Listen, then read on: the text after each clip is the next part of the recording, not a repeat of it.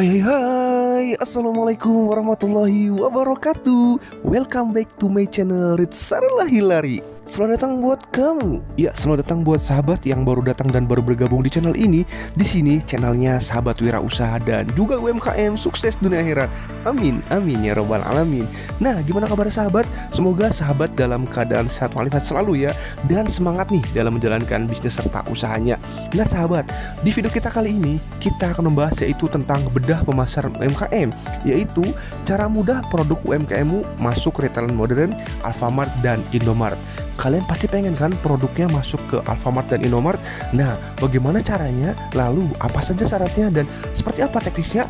Akan kita bahas tuntas di video kita kali ini. Jadi buat kalian wajib tonton dan simak video sampai selesai. Jangan lupa mau di subscribe, like serta di share agar video ini bisa bermanfaat untuk teman-teman UMKM yang lainnya. Oleh karena itu, nggak lama-lama, yuk kita masuk ke video mereka terlebih dahulu ya.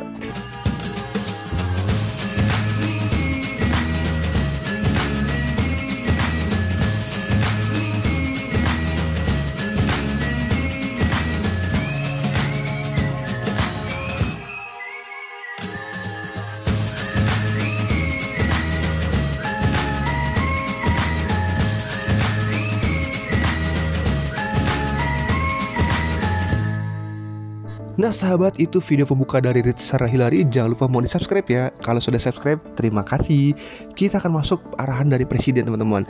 Jadi untuk mendukung kemajuan UMKM Diharapkan semua pihak itu terlibat dan ikut bergerak.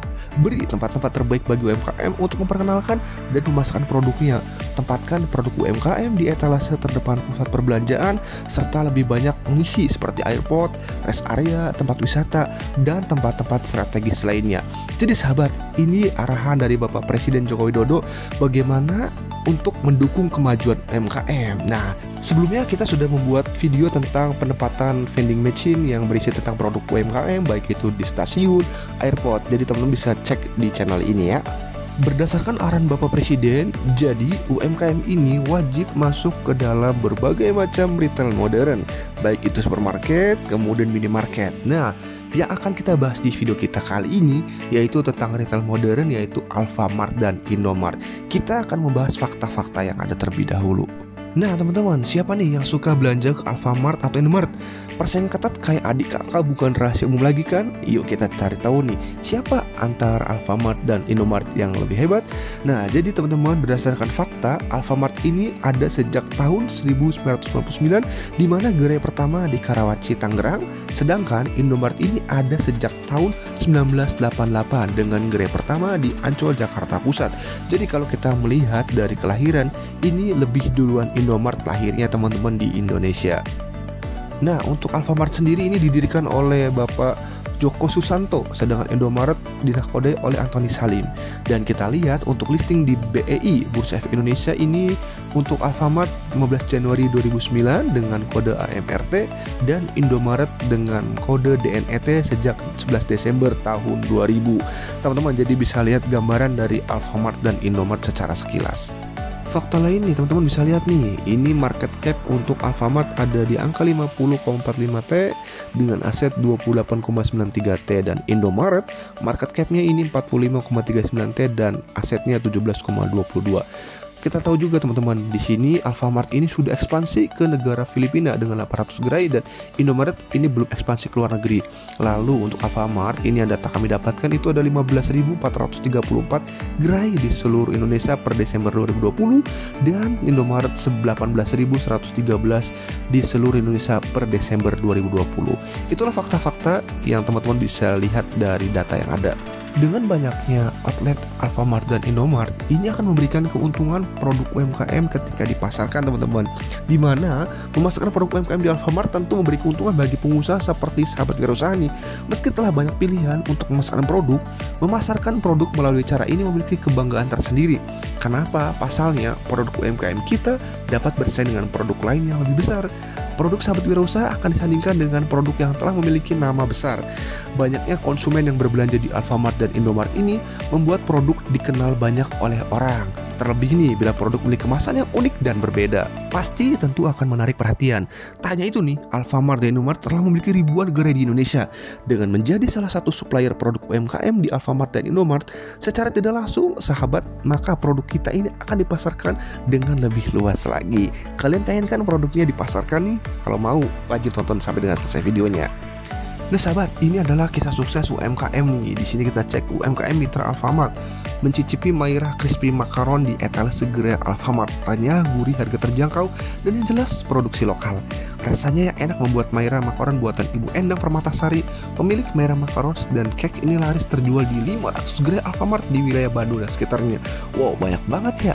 Kerjasama dengan Alfamart ini membuat beliau mampu bertahan di pandemi dan menjadi sumber penghasilan bagi 55 karyawan di daerahnya.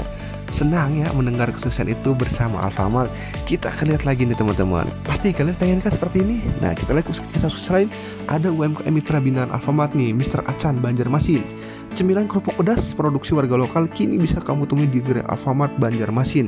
Namanya Mr. Acan brandnya memasuk produk-produk favoritnya setiap minggu ke Alfamart. Wow, bermodal 500 ribu, Vina Rahmatika yang sempat menjadi distributor kerupuk Acan produksi temannya akhirnya mengembangkan usaha dengan label Mr. Acan dan ada beberapa level rasa pedas dan rasa pedas manis.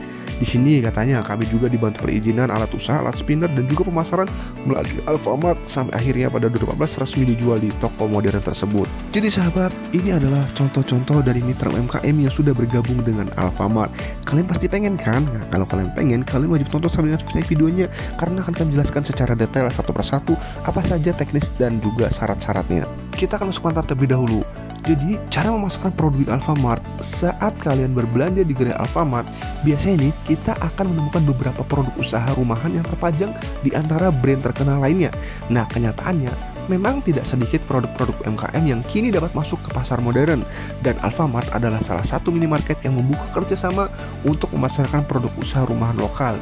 Tidak hanya satu jenis, minimarket nasional ini menerima ragam kategori produk olahan UMKM. Nah, bagaimana nih penasaran kan caranya agar produk kita bisa tampil di etalase Alfamart? Yuk kita simak teman-teman. Yang pertama untuk syarat menjadi supplier di Alfamart yaitu adalah sahabat dapat memenuhi sejumlah syarat yang telah ditentukan. Berikut adalah beberapa syarat nih. Yang pertama, produk sahabat itu harus berkualitas dan harga kompetitif. Syarat utamanya adalah itu teman-teman. Hal ini apa? Ini memastikan semua produk yang dijual Alfamart memiliki standar yang sama. Misalnya nih, sahabat ingin memasukkan produk minuman serbuk, artinya minuman tersebut dalam kondisi baru, kemasannya tidak memiliki ketebalan yang aman dan tidak cacat, serta memiliki rasa enak dan harga yang lebih terjangkau ketimbang produk yang serupa. Selisih 500 sampai 2000 ini dari harga kompetitor ini umumnya sudah bisa menarik perhatian konsumen teman-teman. Jadi, pastikan nih produk sahabat ini produk yang berkualitas dan juga harga yang kompetitif di pasar. Jadi nanti kalian wajib cek dulu produk-produk sejenis yang kalian mirip seperti itu supaya kalian bisa menentukan harga jual yang kompetitif. Yang kedua adanya informasi produsen dan distributor. Nah, untuk memastikan kelayakan suatu produk, perlu nih adanya informasi mengenai produsen dan distributor. Dengan demikian, konsumen tidak akan ragu akan produk yang dibelinya dari minimarket tersebut. Nah, sahabat dapat meletakkan informasi nih mengenai produsen seperti nama perusahaan, alamat, dan kontak yang dapat dihubungi pada kemasan di belakang produk. Begitu juga dengan informasi mengenai distributor. Pastikan nih produsen yang terkerjasama kita itu punya reputasi yang terpercaya ya teman-teman. Jadi yang kedua ada informasi produsen dan distributor. Yang ketiga adalah sudah memiliki izin edar teman-teman. Pastinya nih, pastikan produk UMKM sahabat ini telah memiliki izin edar resmi agar produk kita dapat masuk ke Alfamart paling tidak nih produk kita sudah memenuhi persyaratan perizinan seperti NIB, sertifikat halal, sertifikat PIRT untuk produk panganan. Nah, sebagai contoh nih apabila produk sahabat berupa makanan, pastikan juga produk sudah bersertifikat halal dan terdaftar di Dinas Kesehatan atau BPOM ya teman-teman. Untuk kalian UMKM itu bisa cukup menggunakan SPP PIRT itu sudah cukup masuk sebagai izin edar teman-teman kita akan lanjut. Yang keempat adalah terdapat tanggal kedaluarsa. Nah, ini pasti teman-teman. Jadi bagi produk dengan daya tahan tertentu, jangan lupa nih untuk mencantumkan tanggal kedaluarsa pada kemasan. Cantumkan pada kemasan dengan jelas. Hal ini untuk menghindari adanya produk yang tidak layak jual pada konsumen. Lebih baik lagi jika dicantumkan juga tanggal produksinya. Jadi konsumen dapat menilai apakah produk yang dibeli ini merupakan produk teranyar dan masih berkualitas baik. Nah, teman-teman wajib ada expired date teman-teman ya. Jangan lupa teman-teman kalian wajib memasang namanya tanggal kadaluarsa supaya konsumen itu tenang ketika membeli produk kalian itu produknya masih berkualitas baik. Selanjutnya pula punya nilai dan unik. Nah, supaya dapat lolos menjadi supplier Alfamart nih, pastikan produk sahabat ini harus memiliki nilai dan keunikan. Maka dari itu, sahabat wirausaha bisa maksimalkan value produk dan memiliki keunikan tersendirinya. Misalnya nih, produk UMKM sahabat wirausaha ini berupa minyak kayu putih. Cobalah untuk memberikan variasi aroma berbeda pada minyak tersebut. Dengan demikian, produk minyak kayu putih ini memiliki keunikan dan nilai tersendiri dan berbeda dari produk lainnya. Jadi pastikan teman-teman kalian ada pembeda dengan produk yang sejenis supaya itu menambah nilai dan juga keunikan dari produk kalian. Kemudian selanjutnya adalah segmentasi pasar yang jelas. Nah, jika sahabat memiliki segmen pasar yang jelas, produk kita akan lebih mudah untuk masuk Alfamart. Biasanya, produk yang dijual di minimarket merupakan barang yang dibutuhkan dalam frekuensi tinggi. Produk dengan segmentasi jelas dapat laku dengan cepat melalui Alfamart. Sebagai contoh nih, produk makanan pedas dan berkuah menjadi favorit kaum hawa. Sahabat wirausaha dapat memanfaatkan hal ini dengan menyediakan produk seblak instan dengan tingkat kepedasan tersendiri. Jadi kalian nih wajib punya namanya segmentasi pasar yang jelas dalam kalian membuat produk. Nah, supaya bisa terjual dengan cepat. Lalu selanjutnya adalah distribusi produk terintegrasi. Nah, saat kalian memutuskan untuk menjadi pemasok di minimarket, pastikan nih sahabat memiliki distributor yang siap mengirim produk tiap kali dibutuhkan. Minimarket sendiri ini sudah memiliki sistem otomatis yang dapat memberikan info mengenai ketersediaan produk di setiap gerai. Nah, sahabat dapat bekerja sama juga nih dengan distributor tertentu untuk mendistribusikan produk UMKM sahabat ke gerai Alfamart yang diinginkan. Pilih distributor yang dipercaya dan memiliki reputasi yang baik. Jadi kalian harus standby, harus siap ketika nanti wajib mendistribusikan produk kalian. Selanjutnya, punya marketing plan. Di sini syarat berikutnya adalah memiliki marketing plan yang jelas. Hal ini menjadi jaminan mutu sekaligus potensi produk yang akan dipasarkan. Adapun nih, marketing plan ini dapat terdiri dari promosi yang dapat meningkatkan branding produk tersebut. Jadi teman-teman, ketika produk kita sudah masuk Alfamart, kita jangan diam. Kita wajib membuat branding, promosi supaya apa? Supaya orang-orang yang datang ke Alfamart ketika melihat produk kita, dia sudah teredukasi teman-teman di sosial media kita ataupun di marketplace. Jadi ketika mereka membeli produk, itu sudah tenang dan sudah kenal teman-teman. Nah kita lihat teman-teman, ini produk UMKM Mitra ya. Ini ada snack UMKM Fair, ada merek Kahla, Cibut, Sebet, Happy Taste, dan ini ada cita produk UMKM teman-teman. Ada harganya. Jadi ini promo-promo yang dibuat agar apa? Agar produk-produk UMKM ini terjual dan laku dan cepat. Nah, kalian juga sebagai pemilik brand atau usaha wajib mempromosikan, kasih tahu ke konsumen kalian bahwa produk kalian ini sudah ada di Alfamart mana supaya mereka tahu dan mencoba produk kalian. Kalian pasti pengen kan? Nah, di sini nih, dapatkan produk lokal khas Bengkulu di Indomaret terdekat. Nih produk-produknya produk UMKM Gadis Cemara. Kemudian ada cita rasa lokal di Indomaret. Jadi teman-teman, buat kalian nih produknya bisa masuk nih ke Alfamart Indomaret asalkan kalian siap dan apa saja yang akan dibutuhkan untuk masuknya tadi sudah kami jelaskan kita akan jelaskan secara lebih detail bab per babnya teman-teman nah sebelum produk kalian diterima itu nanti ada namanya kurasi teman-teman. Jadi kurasi itu dicek dulu semuanya oleh Alfamart. Nah di sini ada nih program-program kurasi Alfamart khusus makanan ringan 29 Februari 2024 sampai dengan 29 Februari 2024 syaratnya legalitas lengkap ada NIB PRT halal label produk lengkap kemasan yang menarik kemudian ketahanan produk lebih dari tiga bulan memiliki kartu nama dan katalog produk teman-teman kemudian ini ada juga nih bekerja sama dengan dinas UMKM Kota Bekasi bekerja sama dengan Alfamart sama ya ini untuk syarat-syaratnya juga secara sekilas teman-teman bisa lihat nih teman-teman kemudian kita lihat lagi di sini kurasi UMKM. Produk UMKM Karawang lolos kurasi dan dapat dipasarkan di gerai Alfamart. Ada 9 nih. Di mana harapan dari Pemkot itu target setiap tahun meningkat 10 20 produk UMKM yang bisa dibantu untuk dipasarkan, teman-teman. Kata Ibu Dokter Celica ini sebagai Bupati Karawang. Jadi komitmen Karawang mendorong UMKM naik kelas itu kerja sama Pemda, kemudian Alfamart dan pemberi UMKM lainnya. Jadi buat kalian ini tenang aja, tenang aja teman-teman. Karena setiap Pemda itu pasti ingin semua mengangkat UMKM yang ada di daerahnya Nah kalian wajib ikut namanya ketika ada acara-acara kurasi Siapa tahu itu menjadi jalan buat kalian masuk Alfamart dan Indomart. Kemudian ini nih ada lagi nih kurasi produk UMKM bersama Indomart jadi teman-teman di sini di di acaranya teman-teman wajib membayar IB, PRT, PWP jika ada. Kemudian ada juga nih dari bidang perdagangan DKUPP Kabupaten Subang. Daftarkan segera produk kalian untuk bisa masuk ke Indomart. Jadi teman-teman, kalian wajib nih follow Instagramnya masing-masing dinas supaya apa?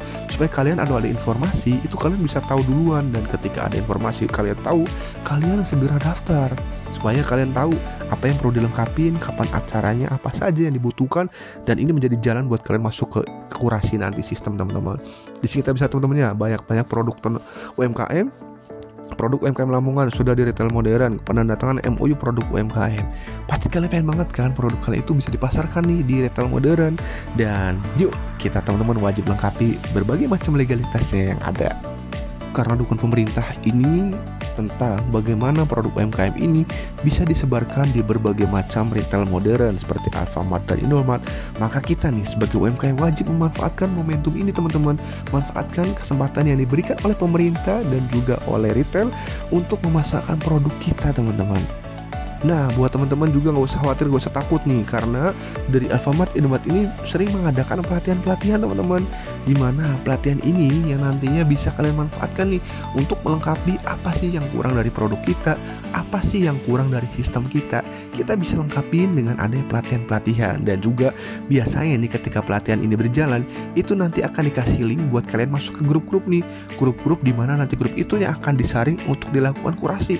Jadi kalian wajib follow nih untuk Instagramnya kemudian sosial media dari Alfamart Indomart supaya kalian tahu informasi terdekat dan tercepat teman-teman kemudian di sini bermitra UMKM dengan Indomaret gampang atau susah. Nanti akan dijelaskan oleh tim dari Indomaret ya teman-teman. Kemudian pelatihan kewirausahaan mandiri UMKM selalu berkreasi inovasi menuju UMKM naik kelas. Nah kalian kalian pasti mau banget nih kan masuk Indomaret Alfamart kan? Oleh karena itu kalian ikuti pelatihan-pelatihan yang ada. Kalian jangan males untuk follow-follow Instagram, baca-baca informasi karena informasi sekarang itu terbuka dengan lebar dan gratis teman-teman. Jadi manfaatkan kesempatan yang ada yang dibuka oleh pemerintah melalui retail modern. Nah ini berbagai macam nih Indomaret beli pelatihan, packaging dan brand UMKM bagikan global gratis tuan banyak banget teman-teman kegiatan-kegiatan yang dilakukan oleh retail modern Alfamart Indomaret karena apa? Karena mereka juga punya tanggung jawab yang disebut dengan nama CSR teman-teman jadi yuk kita sebagai UMKM kita lengkapi produk kita kita kuatkan branding kita, kita lengkapi legalitasnya, kita ikuti pelatihannya, dan kita ikuti kurasinya agar kita bisa masuk produknya ke retail modern. Nah, kalau tadi sudah kami jelaskan tentang bagaimana memasukkan produk ke Alfamart, kita akan isi sekarang teman-teman teknisnya teman-teman. Jadi setelah memenuhi syarat-syarat di atas, sahabat Wirosa dapat memulai untuk mendaftar dan menjadi supplier Alfamart. Berikut langkah-langkahnya. Yang pertama teman-teman wajib isi formulir pendaftaran, di mana langkah pertama yang harus dilakukan untuk memasukkan produk Alfamart adalah dengan mengisi formulir pendaftaran. Isi formulir pendaftaran sebagai supplier yang terdapat pada situsnya yaitu di KTP Alfamidi alfamain.id menjadi supplier. Isi juga formulir aplikasi produk pada situs yang sama. Nah, ada pun pengisian apa saja formulir yang wajib diisi ya biasa pasti ada nama lengkap, nomor telepon, alamat email, alamat usaha, nama brand atau produk, kategori produknya apa, keunggulan produknya apa, alamat website produknya apa, foto dan katalog produk. Nah, teman-teman mulai dari sekarang ya teman-teman lengkapi nih data-data yang ada. Nama lengkap udah jelas nomor telepon sudah email bikinlah email yang profesional teman-teman. Kemudian alamat usaha nama brand pastikan brandnya ini sudah paten merek biar aman teman-teman. Kemudian keunggulan nah kalian harus bisa mewujudkan atau menunjukkan apa sih keunggulan produk kalian dibandingkan dengan yang lain. Kemudian alamat website ini bisa menggunakan link tree saja teman-teman yang gratis teman-teman. Kemudian foto atau katalog nah kalian wajib nih punya namanya foto produk atau katalog produk teman-teman. Selanjutnya komitmen kirim produk sesuai jadwal. Jadi setelah nanti mendaftar, sahabat akan diminta untuk berkomitmen mengirim produk sesuai dengan jadwal pengiriman. Hal ini untuk memastikan supplier selalu tepat memenuhi kebutuhan produk di tiap gerai Alfamart. Jadi nih buat kalian nih yang sudah ingin masuk Alfamart, kalian wajib siap secara modal. Kenapa? Karena nanti produk ini akan dikirim ke Alfamart terlebih dahulu dengan sistem konsinyasi biasanya.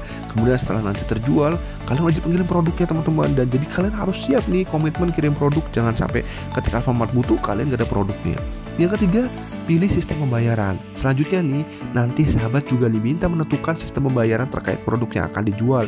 Biasanya ini, Alfamart ini memiliki jangka waktu pembayaran antara 30 sampai 90 hari. Meski demikian, Alfamart juga telah menggunakan program supplier payment service dari DBS Ideal Connect untuk pembayaran pemasok. Program ini membuat proses pembayaran lebih ringkas, cepat, dan transparan. Dan melalui sistem ini tersebut memungkinkan pemasok mendapatkan bayaran lebih awal dan mengelola arus kasnya secara lebih baik.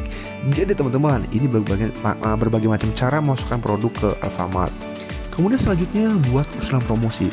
Jadi sahabat juga akan diminta nih untuk membuat usulan promo terkait produk yang akan dimasukkan ke Alfamart. Promosi ini akan dilakukan dalam periode tertentu sesuai dengan kesepakatan kedua belah pihak. Jadi misalkan ada potongan harga atau misalkan ada hadiah giveaway atau apa itu nanti kalian akan diobrolin dengan kesepakatan kedua belah pihak. Kemudian evaluasi berkala. Nah sahabat juga yang ingin memasukkan produk UMKM ke minimarket bersedia melakukan evaluasi berkala. Hal ini apa? Untuk dilakukan untuk melihat strategi dan pengembangan pemasaran produk di gerai Alfamart teman-teman. Jadi akan dilakukan evaluasi apakah ada kekurangan atau gimana penjualan naik turun akan diinformasikan. Lanjut, kita akan ke syarat Indomart nih. Bagaimana cara masukkan produk Indomart? Nah, kalau kamu pengen juga produk wajib bisa dijual di Indomaret, wajib coba nih cara tahu memasok produk di Indomart. Nah, berikut yang kami rangkum beberapa informasi bagaimana syarat memasok Indomart selengkapnya. Yang pertama adalah produk Indomart itu harus jenis produk yang jelas, kemudian kerapihan kemasan, kehigienisan dan modernitas, lalu harus menyertakan info produsen atau distributor, menampilkan ukuran produk yang jelas, menampilkan nomor registrasi produk di Depkes RI atau lembaga terkait, harus menampilkan tanggal kadaluarsa, menampilkan label halal, dan menampilkan barcode pada kemasan. Nah, nanti di bagian akhir teman-teman, kita akan kasih solusi bagaimana teman-teman melengkapi legalitas yang ada. Jadi kalian wajib tonton dan simak video sampai dengan selesai ya. Nah selanjutnya apabila Anda memenuhi syarat-syarat tersebut, segeralah mendaftarkan diri untuk menjadi salah satu pemasok salah satu bisnis suara laba besar di Indonesia tersebut. Teman-teman, pertama kalian wajib tadi mengisi formulir aplikasi produk dan pemasok yang dapat diunduh di halaman resmi Indomart kemudian berkomitmen atas pemenuhan order, jadwal pengiriman, dan sistem pembayaran yang ditawarkan oleh Indomart, membuat usulan kerjasama promosi produk, bersedia melakukan evaluasi penjualan. Nah teman-teman, itulah tadi beberapa syarat serta cara memasukkan produk ke minimarket. Semoga nih informasi ini dapat membantu pengusaha UMKM yang hendak memasarkan produk lebih luas di skala nasional. Dan yang terakhir teman-teman, lengkapi legalitas usaha. Legalitas ini merupakan hal yang paling penting ketika kita ingin memasarkan produk UMKM kita ke dalam jaringan retail modern sehingga produk kita nantinya akan setara dengan produk brand besar lainnya. Nah, kami akan jelaskan nih legalitas usaha apa saja sih yang wajib UMKM miliki agar memudahkan dan membantu UMKM untuk lolos kurasi masuk ke retailan modern seperti Alfamart dan Indomart. Kami juga memiliki solusi nih untuk UMKM agar naik level sehingga produknya bisa diterima di retail modern mana pun. Nah, kalian mau tahu kan? Yuk kita bahas teman-teman. Di sini kita lihat teman-teman legalitas usaha UMKM. Yang pertama wajib dimiliki yaitu ada 6 NPWP, NIB atau nomor induk berusaha, kemudian sertifikat halal, PIRT atau izin BPOM dan badan hukum baik itu PT, CV atau PT perorangan. Nah, inilah legalitas legalitas usaha yang wajib kalian miliki sebagai UMKM. Semua ini nanti bisa kalian dapatkan itu dengan sangat mudah sekali teman-teman. Nah, ini adalah tiga manfaat mendirikan legalitas usaha teman-teman. Pertama sebagai sarana perlindungan hukum untuk badan usaha.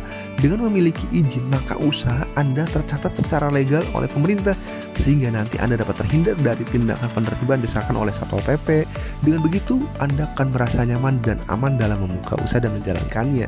Lalu yang kedua sebagai syarat dalam kegiatan yang sifatnya menunjang perkembangan. Tadi dalam meningkatkan usaha yang Anda miliki tidak terlepas dari tambahan atau dibutuhkan suntikan modal nih dari perbankan perbankan misalnya. Nah, sebagai syarat pengajuan kredit, modal usaha disyaratkan adanya izin usaha dan juga tadi untuk masuk ke retail modern, jadi pengembangan usaha dalam hal pemasaran. Lalu yang ketiga sebagai sarana pengembangan usaha ke level internasional. Nah, bagi para pengusaha lokal yang ingin memperluas jangkauan pemasaran ke level internasional, kepemilikan izin usaha ini sangat membantu teman-teman.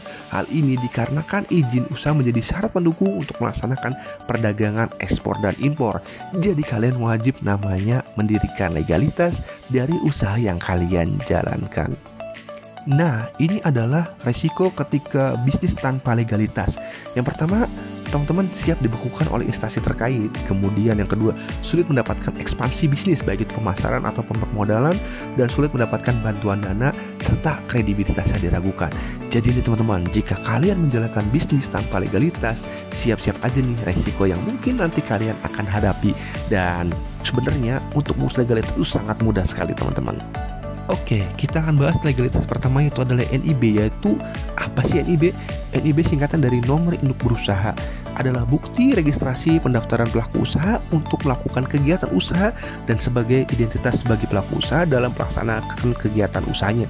Jadi NIB ini semacam KTP yang wajib buat para pengusaha baik itu UMKM ataupun pengusaha sedang atau pengusaha besar. Di mana NIB ini bertindak sebagai TDP atau tanda daftar perusahaan, angka pengenal importir dan juga hak akses kepabeanan. NIB ini diterbitkan setelah pelaku usaha melakukan pendaftaran melalui pengisian data secara lengkap. NIB ini terbentuk 13 digit angka acak yang diberi pengaman dan disertai dengan tanda tangan elektronik. Nah, saat ini NIB yang terbaru ada NIB OSS RBA yaitu Online Single Submission Risk Based Approach.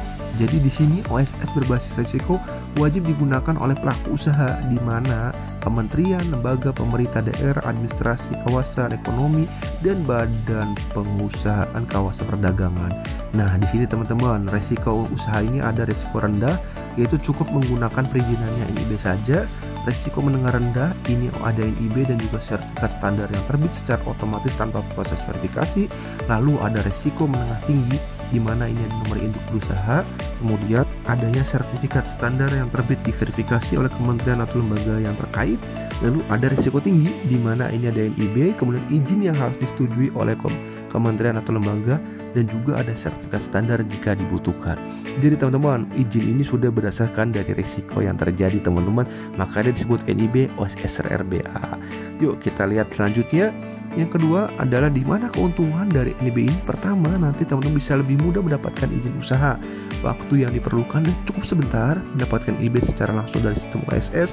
Pelaku usaha ini bisa mendapatkan izin usaha secara real time dan juga bisa meninjau proses perizinannya secara online di mana manfaat yang kalian dapatkan memiliki NIB ini pertama legalitas usaha sebagai SIUP TDP, kemudian berpeluang pro mendapatkan program fasilitasi dari pemerintah, kemudahan dalam permodalan bank misalkan memperluas pemasaran produk. Jadi NIB ini ada salah satu persyaratan administratif apabila pelaku industri ingin mengembangkan bisnisnya. Nah, kemudian teman-teman wajib memiliki nama logo Penting gak sih logo? Nah, jadi bagi pebisnis pemula, logo ini sangat berperan penting. Pentingnya logo perusahaan adalah sebagai bentuk profesionalitas. Logo ini menunjukkan seberapa serius kamu dalam menjalankan bisnismu. Selain itu juga logo dapat meningkatkan kepercayaan konsumen terhadap produk yang kamu jual. Kenapa bisa begitu? Jadi karena logo ini ibarat tanggungan investasi sebuah brand. Semakin besar brandnya, logonya pun akan semakin bernilai. Jadi wajar ketika logo diletakkan di sebuah produk, produknya akan menjadi lebih mahal dan dipercaya. Selanjutnya untuk izin edar SPP PIRT. Ini untuk yang makanan teman-teman ya. Jadi udah pada tahu belum sih PIRT? Terutama nih buat produsen makanan. Nah ini di sini temen bagi sobat nih yang punya bisnis makanan jangan lupa untuk mengamankan izin PIRT dulu. Apa sih PIRT? PRT ini adalah produksi pangan industri rumah tangga, di mana adalah jaminan tertulis agar UMKM dapat menjual produknya secara legal. Atau dengan kata lain, ini adalah izin edar teman-teman. Jadi buat kalian yang punya produk makanan itu wajib namanya memiliki SPP PIRT. Jangan lupa diurus ya.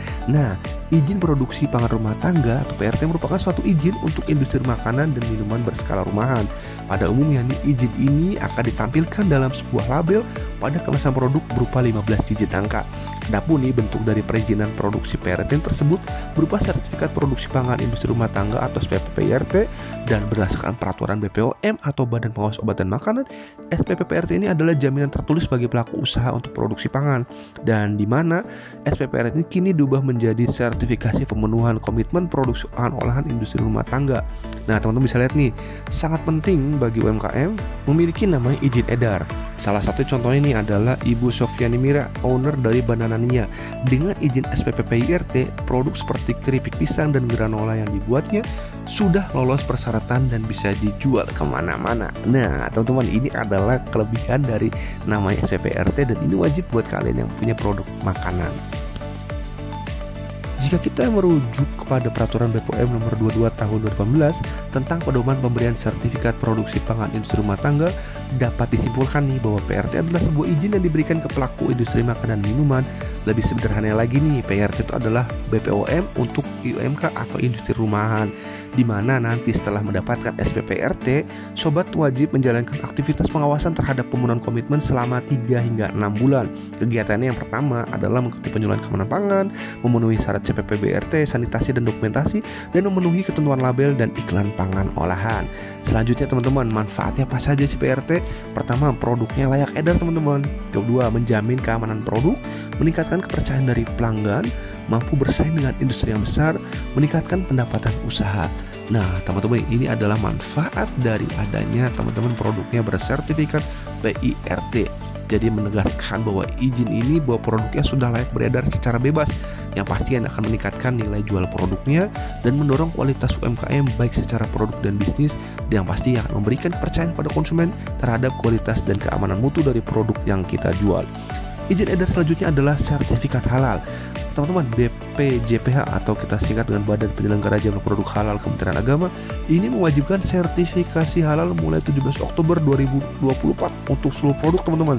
Dan dikategorikan tiga nih makanan minuman bahan baku bahan pangan bahan penolong produk makan minuman produksi hasil sembelih dan jasa penyembelihan ini wajib bersertifikat halal mulai 17 Oktober 2024 jadi masih ada jangka waktu teman-teman. Segera buat kalian nih yang punya produknya dan belum ada sertifikat halal wajib segera mendaftarkan sertifikat halal. Nah akan kita jelaskan ya jadi jika para pelaku usaha memiliki tiga kategori dan belum memiliki sertifikat halal, maka nanti akan diberikan sanksi sesuai dengan regulasi yang ada. Nah, sebelumnya kita akan mengenal istilah-istilah ini dalam proses sertifikat halal. Yang pertama ada 6 LPH yaitu lembaga yang melakukan kegiatan pemeriksaan dan atau pengujian terhadap ketahanan kehalalan produk ada BPJPH itu Badan Penyelenggara Jaminan Produk Halal adalah unit eselon 1 termuda di bawah Kemenak. Kemudian ada LPPOM MUI adalah lembaga yang bertugas untuk menganalisa dan memutuskan produk-produk apakah aman dikonsumsi baik dari sisi kesehatan dan juga kehalalan. Lalu ada pelaku usaha ini adalah seorang yang mengajukan produknya ke LPPOM MUI untuk mendapatkan sertifikat halal dan label halal. Kemudian ada penyediaan halal. Ini adalah orang internal dari perusahaan yang bertanggung jawab penuh terhadap proses produksi. Jadi orang yang dipercaya di dalam UMKMU. Kemudian auditor halal ini orang yang memiliki kemampuan untuk memeriksa tentang kehalalan suatu produk. Istilah selanjutnya adalah si halal. Si halal ini ada aplikasi dari BPCPH untuk memberikan fasilitas pengajuan sertifikat halal. Ada komisi fatwa. Ini adalah bertugas untuk menetapkan kehalalan produk pada sidang fatwa. Dan sidang fatwa ini adalah sidang yang dilakukan oleh komisi fatwa untuk menetapkan kehalalan suatu produk. Ada NIB, ini identitas usaha yang diterbitkan oleh OSS. Ada manual SJPH, dokumen yang menjadi panduan penerapan SJPH di unit usaha. Kemudian ada ketetapan halal ini fatwa tertulis MUI yang menyatakan kehalalan suatu produk sesuai dengan syariat Islam, teman-teman. Kita akan lihat lagi teman-teman di sini bahwa permohonan sertifikat halal dengan pernyataan pelaku usaha mikro kecil dan atau kita sebut dengan safety card ini 0 rupiah alias gratis teman-teman jadi pemerintah menyatakan bahwa ketentuan tarif layanan permohonan sertifikat halal dengan pernyataan pelaku usaha kecil dikarenakan tarif 0 rupiah alias gratis di mana hal ini merupakan bagian program dari Sehati yaitu sertifikasi halal gratis yang sedianya akan digelar hingga Oktober 2024. Ini beberapa pertanyaan nih dari teman-teman. Apakah program saat ini masih berlaku 2024?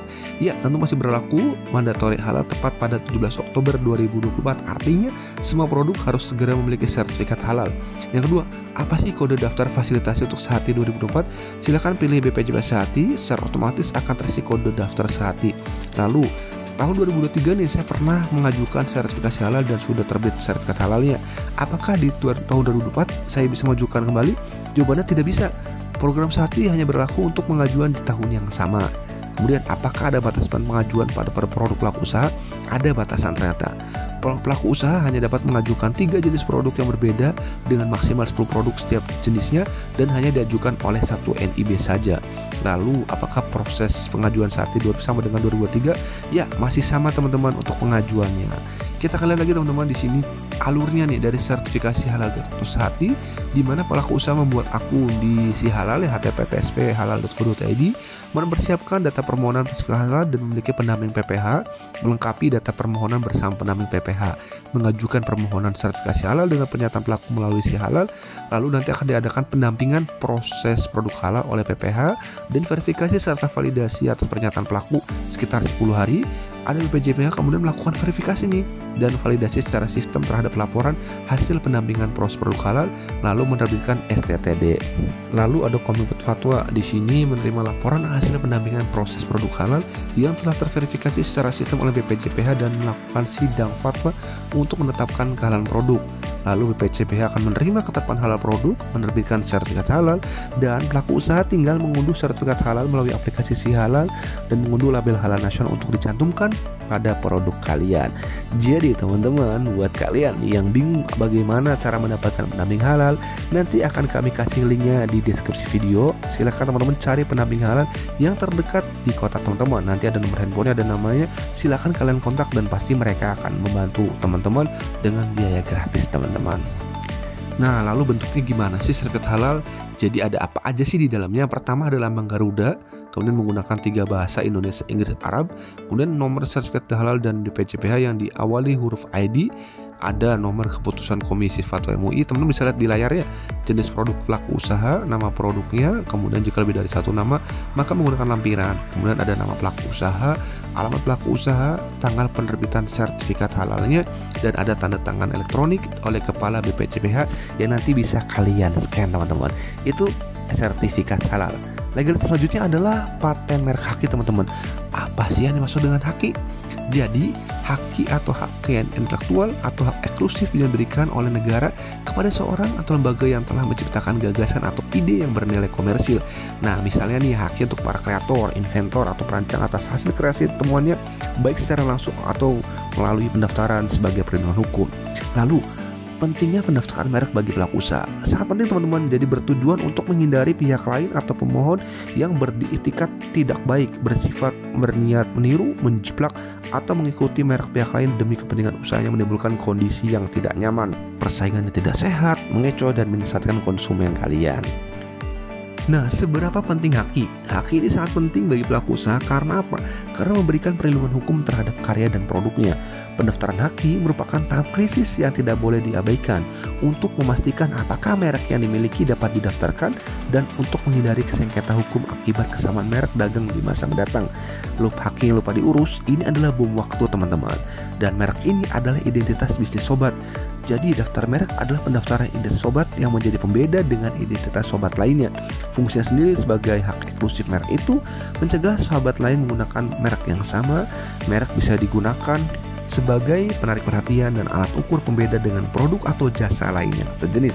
Jadi buat kalian nih wajib kalian namanya memiliki paten merek kaki untuk brand atau merek yang kalian jalankan sekarang.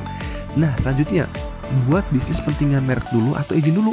Nah, memulai bisnis tidaklah mudah. Banyak hal yang perlu diperhatikan agar tidak salah langkah dan terjerat hukum. Salah satunya adalah ketika mulai bisnis, teman-teman perlu merek atau nama yang akan digunakan untuk memasarkan produk kalian.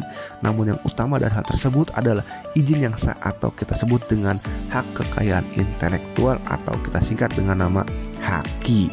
Jadi buat kalian nih sebelum kalian bikin brand, kalian wajib cek dulu di hakinya apakah nama itu sudah digunakan atau belum. Karena apa? Karena ketika nanti kalian berusaha jalan, jangan sampai kalian berubah brand. Itu butuh effort lagi teman-teman. Nah, penting gak sih UMKM mendapatkan merek? Ya, pelaku UMKM kadang melupakan nih pentingnya bagi pengelolaan haki ini padahal salah satu kekuatan produk agar diterima di masyarakat adalah bagaimana menciptakan kekuatan dari sebuah branding teman-teman. Dan ada berapa kelas merek sih dalam bidang usaha jadi di Indonesia ini ada 45 kelas merek yang secara umum dapat dikelompokkan menjadi dua yaitu ada kategori kelas dan barang kelas 1 sampai 34 yang kedua kelas jasa kelas 35 sampai 45 jadi teman-teman setiap brand ini memiliki kelas merek yang akan muncul teman-teman. Dan untuk prosesnya sendiri teman-teman di sini itu bersekitar sekitar 8 sampai dengan 12 bulan. Ada tahapannya teman-teman dari mulai pengajuan, nanti diperiksa formalitasnya, lalu diumumkan, lalu di layanan teknis, pemberian substantif, persetujuan direktur, pendaftaran nomor merek dan penerbitan untuk sertifikat merek teman-teman. Jadi untuk penerbitan sertifikat merek ini emang agak lama teman-teman karena akan diumumkan dulu di sistemnya untuk mengetahui apakah ada yang menggunakan nama brand yang sama sehingga ada pengajuan atau penolakan teman-teman. Nah, legalitas selanjutnya adalah badan hukum teman. Di sini kita gunakan PT perorangan. apa sih PT Perorangan? Adalah badan hukum perorangan yang memiliki kriteria usaha mikro dan kecil UMKM sebagaimana diatur dalam peraturan perundang-undangan mengenai usaha mikro dan kecil. Jadi teman-teman buat kalian nih kalian bisa bikin namanya PT Perorangan untuk usaha brand kalian supaya nanti bisa dicantumkan di kemasan kalian diprodusen oleh PT apa. Nah, itu boleh teman-teman. Jadi saat ini mendirikan PT tidak perlu lagi didirikan dengan minimal dua orang melainkan bisa didirikan dengan seorang diri yang disebut dengan PT Perorangan. Hal ini sesuai dengan Undang-Undang Cipta Kerja nomor 12 tahun 2020 teman-teman, di mana PT Perorangan ini hanya diperbolehkan untuk didirikan oleh usaha dengan kriteria UMKM. Jadi buat kalian yang punya UMKM wajib nih kalian bikin namanya PT Perorangan. Nah, besaran modal untuk bisa mendirikan PT Perorangan hanya berdasarkan keinginan dan kemauan pendirinya setelah pengisian surat pernyataan pendirian. Tidak hanya itu, Anda juga bisa memperhatikan kriteria modal yang usaha di atas karena ketentuan tersebut digunakan pada saat melakukan pendirian atau pendaftaran saja. Nah, masih menyambung nih dengan poin sebelumnya karena Anda mendirikan PT perorangan maka Anda memiliki kewajiban untuk penuh mengontrol PT tersebut. Selain itu, karena PT perorangan statusnya adalah badan hukum, maka tanggung jawab Anda hanyalah sebatas modal perusahaan saja, sehingga aset pribadi tidak akan terganggu jika terjadi resiko bisnis di kemudian hari. Manfaatnya apa saja sih? Tidak ada ketentuan modal dasar, jadi dari 1 juta sampai 5 miliar itu boleh teman-teman. Cukup mengisi pertanyaan pendirian PT perorangan, cukup satu orang saja teman-teman sebagai ownernya, dan pajak yang dibayar pastinya lebih murah karena PT perorangan. Nah, kita lihat lagi teman-teman. Di sini kriteria untuk partai perorangan. Yang pertama, kriteria UMKM ditentukan berdasarkan modal usaha maksimal 1 miliar, tidak termasuk tanah dan bangunan tempat usaha atau hasil penjualan senilai maksimal 2 miliar, di mana kriteria ini ditentukan berdasarkan modal tidak lebih dari 1 miliar 5 miliar, tidak termasuk tanah bangunan tempat usaha atau hasil penjualan tahunan maksimal 2 sampai 15 jangan biarkan bisnis kamu terhambat gara-gara nggak punya partner. Nah, PT Perorangan ini adalah solusinya. Nikmati kemudahan mendirikan PT Perorangan tanpa perlu pusing cari partner. Dan di sini teman-teman, kami memiliki solusi legalitas teman-teman dari RH Konsultan UMKM kami memiliki visi bahwa setiap orang ini berhak untuk mendirikan usaha dan memiliki legalitas bisnisnya dengan mudah, cepat, aman di mana pun dan kapan pun berada. Dan saat ini kami sedang memiliki paket promo teman-teman untuk UMKM naik level seperti tadi untuk teman-teman nanti masuk ke retail modern, kemudian teman-teman masuk ke supermarket, ke bandara atau mesin vending machine. Di sini teman-teman sedang ada harga spesial di mana saat ini kami memberikan promo spesial untuk membantu usahamu naik level menghadapi tahun 2024. Jadi buat teman-teman nih, paket A itu NIB, OSRBA dan PWP dari 300 kita diskon menjadi 100 ribu saja. Paket B NIB, NPWP dan SPPRT dari 500 kita diskon menjadi 200 ribu saja. Paket C paten merek haki UMKM khusus yang tadi 3 juta kita diskon jadi 850 ribu saja. Paket D PT Perona dan NIB-nya dari 1 juta kita diskon hanya 300 ribu saja. Paket E Company Profile UMKM dari 800 ribu kita diskon jadi 350 ribu rupiah. Paket F barcode GS1 nasional ini barcode yang ada di kemasan itu dari 2 juta kita diskon menjadi 1 juta 600 paket G sertifikat PKRT dari 6 juta kita promo jadi 4 juta 500 saja teman-teman. Dan promo ini berlaku sampai dengan 31 Desember 2024 jadi jika ada yang ingin ditanyakan untuk konsultasi gratis teman-teman silahkan hubungi kami. Sudah kami cantumkan linknya di link deskripsi video di bawah. Teman-teman silahkan nanti klik linknya untuk berkonsultasi gratis teman-teman. Di sini kita bersertifikat BNSP, BPJPH, sertifikat Kemenko UMKM dan layanannya teman-teman standar layanan kita adalah layanan full online seluruh Indonesia teman-teman. Layanan 24 jam aman dan resmi pembayaran full setelah selesai dan proses hitungan jam satu hari selesai dengan syarat data lengkap dan sistem aman teman-teman. Sekarang kemudian kita ada juga free teman-teman untuk email bisnis kemudian ada rahasia email sukses dan juga ada peluang tambahan bisnis teman-teman. Jadi nih buat kalian yang masih bingung punya produk tapi belum punya legalitas silahkan kalian konsultasikan kepada kami. Dan saat ini kami sedang ada promo. Manfaatkan promo yang ada teman-teman untuk menaikkan level usahamu sehingga produkmu nantinya bisa masuk ke retail modern seperti Alfamart, Indomart. Bahkan kami berharap kalian produknya bisa masuk ke supermarket besar teman-teman. Nah teman-teman kesimpulan apa yang dapatkan jadi legalitas yang harus dilengkapi agar diterima di retail modern yaitu pertama tentukan kode kabel sesuai produknya kemudian terbitkan NIB-nya setelah itu kalian yang makanan wajib ada namanya SPPRT dan juga sudah bersertifikat paten merek teman-teman supaya aman dan setelah itu kalian bidikan badan usaha yaitu PT Perorangan saja teman-teman Yuk teman-teman, manfaatkan promo yang ada. Itulah yang bisa kami sampaikan di video kali ini. Semoga teman-teman bermanfaat dan mendapatkan manfaat dari video kita kali ini. Jangan lupa teman-teman mau di subscribe, like serta di share agar video ini bisa bermanfaat untuk teman-teman UMKM yang lainnya. Itu saja teman-teman yang dapat saya sampaikan. Kurang lebihnya saya mohon maaf teman-teman. Semoga bermanfaat dan di video ini kita sudah bikin juga channel ini berbagai macam video yang membantu teman-teman UMKM untuk menaikkan level bisnisnya teman-teman. Kurang lebihnya saya mohon maaf. Sampai bertemu kembali di video saya selanjutnya. Terima kasih atas waktu menontonnya. Bila walidaya. Wassalamualaikum warahmatullahi wabarakatuh. Bye bye.